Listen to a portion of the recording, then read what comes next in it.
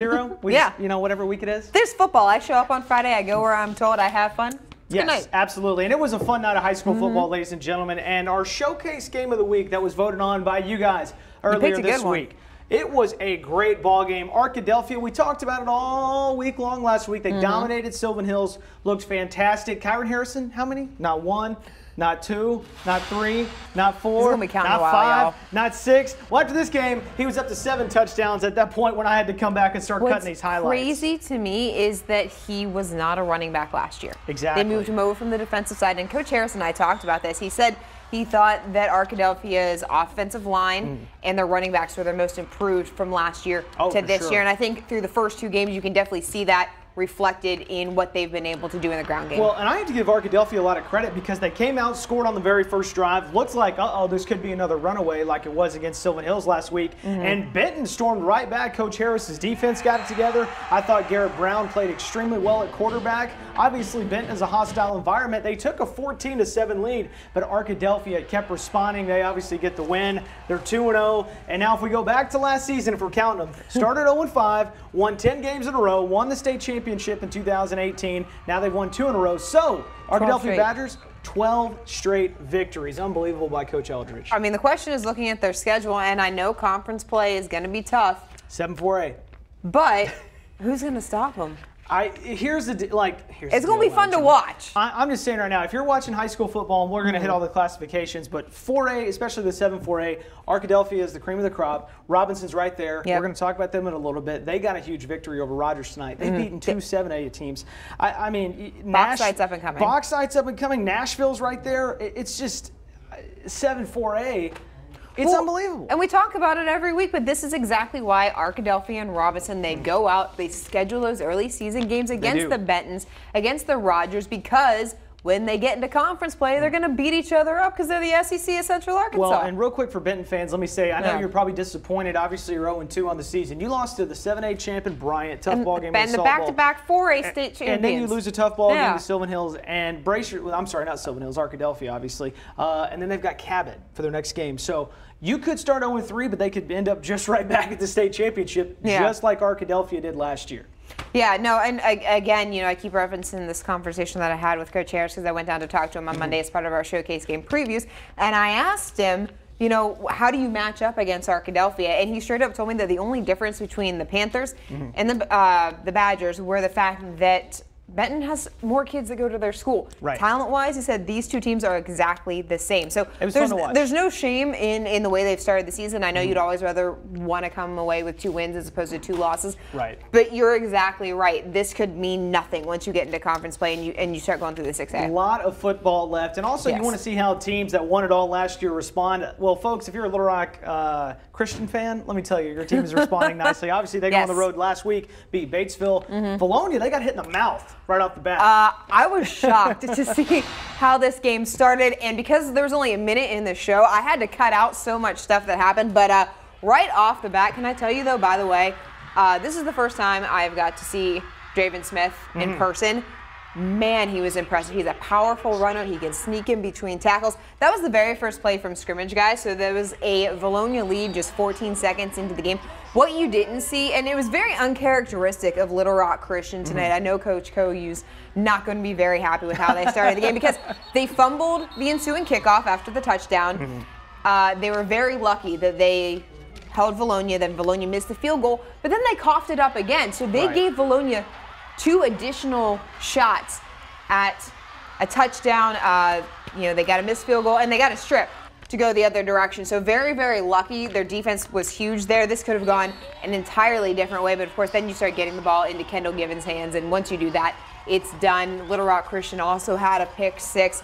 So the score 56 to 20 looks like a very convincing Little little deceiving, yeah. little deceiving there. Looks like a very convincing Little Rock Christian win. Uh, could have gone the other way, but Mm-hmm. as you said, the important thing is, is how you respond when things don't go your way I in was really anxious to see how they would play without Justice Hill. I'll be honest. Everyone talked about him. I didn't think they would win a state championship last year. They upset PA. Yeah. Wanted to see how they'd perform without Justice. So far, so good. so far, so good. Uh, I was more impressed with Kendall uh, in their running game. Special Uh, K. yeah, Special K gets all the Shout shout outs on tonight. Twitter, Love Special YouTube. K. Um, I, I think their quarterback play is going to need to be developed a little bit, Right. and that's something that Coach and I talked about before the season. I've got a little bit of an unproven quarterback, but they've got enough depth and enough seniority around that it's not going to be a problem. And Mm-hmm. I think, uh, you know, I really got to see that tonight. Well, it was fun. It was Yeah. fun to watch. And what's also fun to watch is when two first-year head coaches go head-to-head. Of course, we're talking Hayden's about so confused because Cabot doesn't look anything like Cabot. Very, very strange to me. Of course, Cabot, first year head coach Scott Reed, uh, 1st Mm-hmm. year head coach Rod Stinson down in Pine Bluff going head to head. Cabot and Pine Bluff. Mitch Lilly, the Lone Oak man himself, made the trip down. He has your highlights. Pine Bluff looking to kick off 2019 with the win in the opener, but early on it was Cabot and Scott Reed getting off to the great start. First quarter, Rhett Thurman with the 35 yard field goal, three zip Panthers. Later, still in the first quarter, Cabot getting it done on special teams again. High snap, and the Panthers get a safety on Pine Bluff. 5 nothing visitors. Then Cabot going to the air. That's right, Cabot going to the air. Tyler G. Cairo Rudolph, big gain on the play, but the drive would stall. The Zebras and Rod Stinson get going from there in the second quarter. Tyler Foote showing off his wheels right here, moving the chains and keeping the drive alive. A few plays later, Foote's showing off his arm this time, living it to Xavier Turner, five yard throw and catch. Pine Bluff on top 7 6. From there, both teams trade TDs.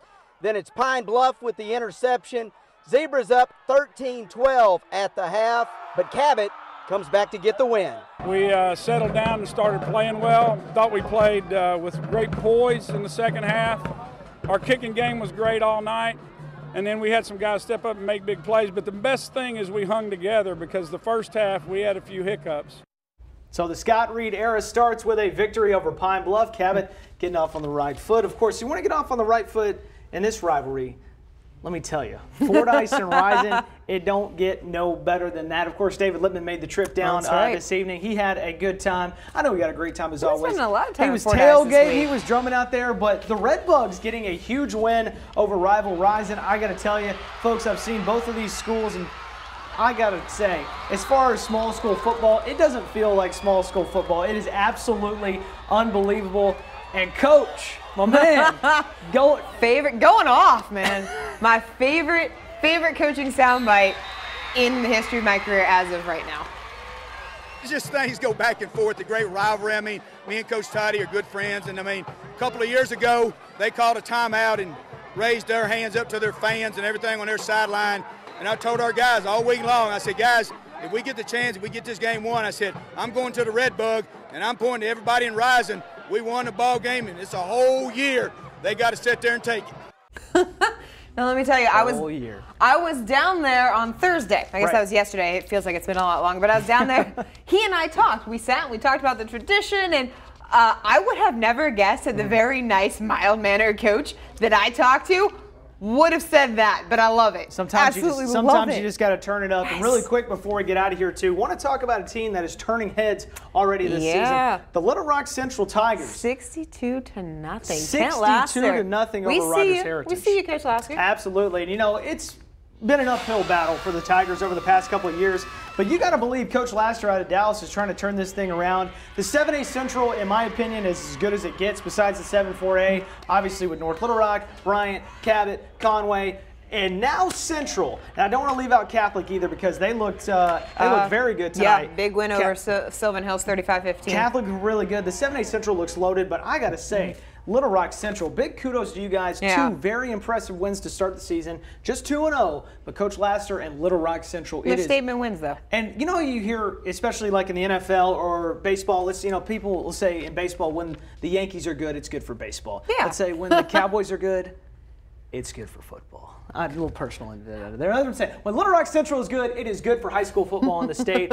And hail to the old gold. Or Craig says it literally every day on the set. He is such a proud Central grad. Is he so still way, back there? way No, cool. he's He not. left. He left. so cool to see Central get back to their winning ways, and uh, it's fun. It's exciting. It's Yeah. really, really exciting to see. Pretty cool. Yeah, it's just, just good to see. I, li- I like to see Absolutely. kids. We never like to see kids lose, so it's always good to see them out there getting wins and getting getting a history historic program. Fun night. Back on the right track, yeah. We got to get you out of here. I know. You got to hit the road. Got to go to bed, y'all. Got to go to mm. Oxford tomorrow. We have got to get Dorian out here. She is going to be in Oxford tomorrow. Remember the Hogs playing at 6:30 on the SEC mm-hmm. Network, taking on the Rebels. Hogs Zone Super Saturday. After. Follow me on social. I'll be all over it. Facebook, Twitter, Instagram, any social media channel. What was your line? What'd you say? What about Someone's this gotta win, y'all. Someone's, Someone's gotta, gotta win. win. Someone's got to win. It should be a good time. Thanks again. Be sure to join us tomorrow right here on TH. Have a good one.